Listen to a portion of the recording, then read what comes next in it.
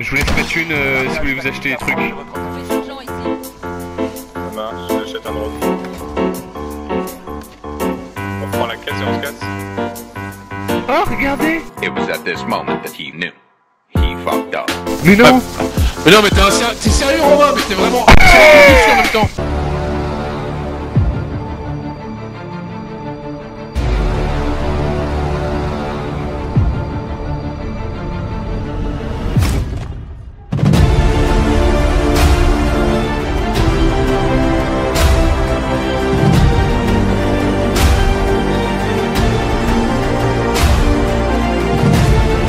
Hey guys, what's up? Uh, today I will talk about the Amax or the Galil or the CR56, call it what you want.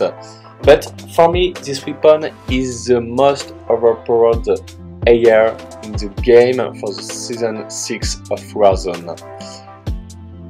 This AR is underestimated because of its recoil troubles but you can deal with it with the right attachments. Most of people run it with, with the VLK optic and the Mark IV grip, but I don't like this class setup and I want to show you another build for this weapon. So, these are the damage for the most powerful AR in the game with the FAL in the first position with 100 HP if you hit your target with one bullet in the head. Then there is a Oden, then there is a FR 5.56, and then you have the Galil and the AK-47. And last you have the FN Scar, but there is a few problems with the weapons that you can see at the screen because first of all the FAL is a semi-automatic rifle and you have to be comfortable with the trigger finger and it's not the case for everybody. Then the Oden has so much recoil troubles you have to put the right attachments to control it but the other problem is the ammunition. You can have only 30 bullets and it must be a problem in your fights. Then you have the FR 5.56 which have good damage but this weapon is running by two-way semi-automatic rifle with one shot or three shots burst but it's the same thing. It's not easy to use. It's not a comfortable weapon.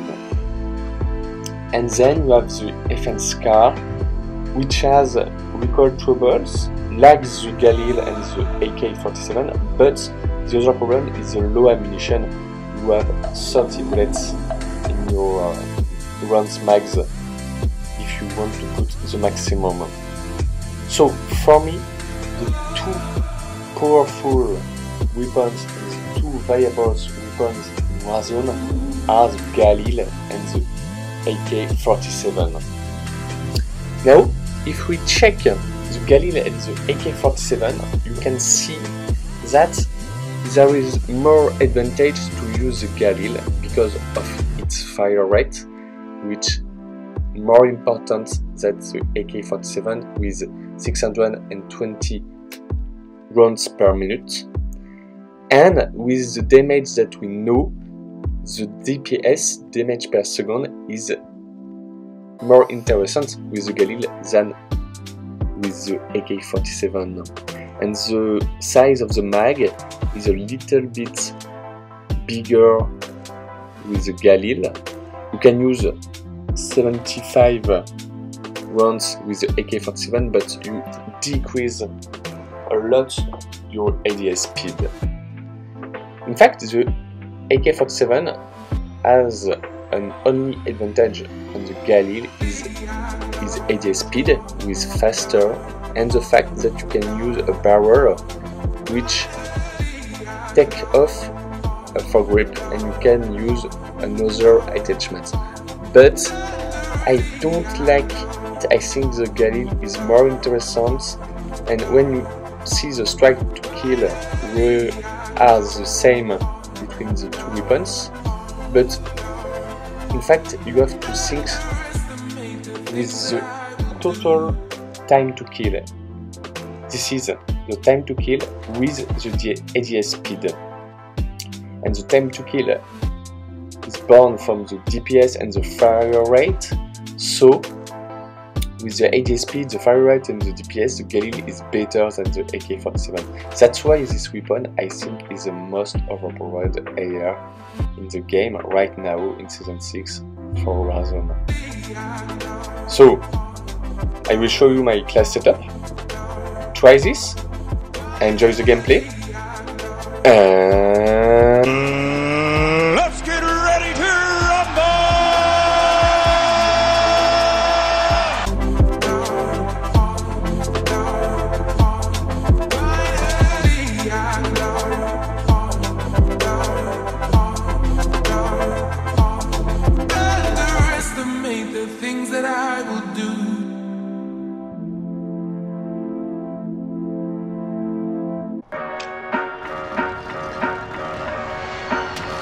mon drone.